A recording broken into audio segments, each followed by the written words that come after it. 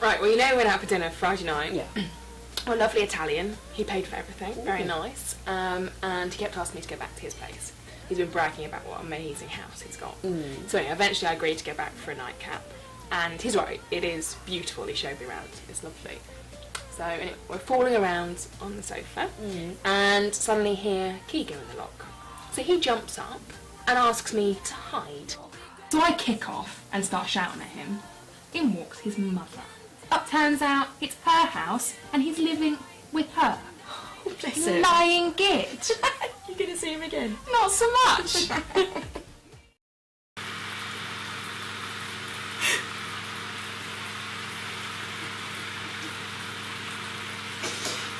Enough. Enough now.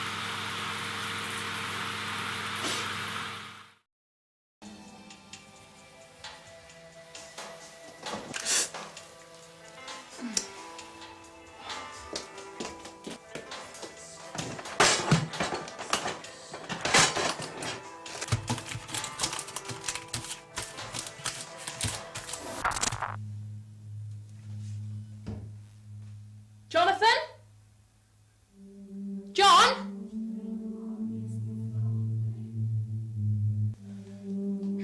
Jonathan! Please, just wait. What? Hear me out.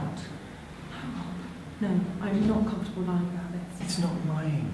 It's just not saying anything. But you think that's okay? It makes me think I don't know you at all. Jenny,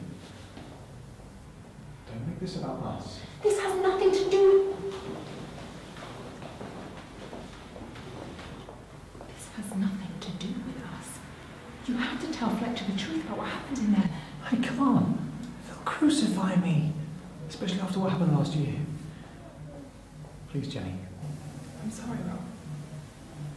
I'm not putting my career on the line for this. If you don't tell him, I will. John, it's me. I got it. I got the job. I know. Okay. Okay, talk to you later. Love you too. Yes. He is nice to us, though, isn't he? Yeah, for a fat bastard who fucks around on his wife. Sure, he's the kind of guy I could live with. Well, what else do you expect from a man? If I had a husband, I'd expect him to fuck around. What, you wouldn't be bothered if he went with all the tarts he could get. What you don't know can't hurt you. I bet our mum's having a bit on the sly. It's not quite the same thing, though. Dad's long gone. How do you know?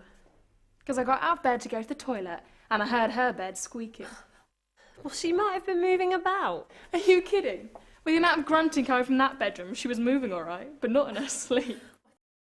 Well, I'm waiting. I'm sorry. I just couldn't get it. I tried.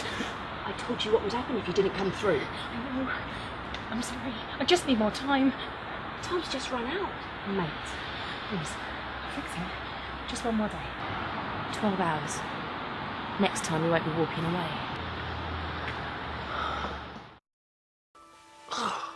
My head. It hurts. What happened? You had a nasty knock to it. Don't worry about that now. I'm here to mother you back to hell.